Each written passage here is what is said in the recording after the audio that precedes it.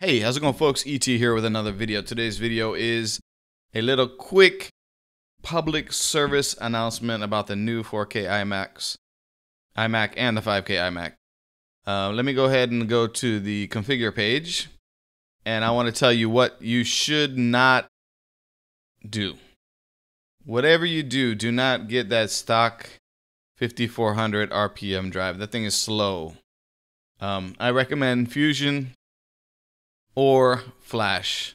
Flash is, of course, the fastest, but you're going to have to pay it the premium price. So, what Fusion is, is a little bit of flash memory inside of a spinning hard drive that allows boot times and things to go a lot faster. But your main media storage will be on a, a bigger spinning drive. So, first thing you're going to do is hit that, at minimum, hit that Fusion right there, okay? So, that bumps the price up to $15.99. Everything else is up to you depending on how much money you have to spend. But minimum minimum public service announcement do not get that 5400 rpm spinning drive to come stock with it.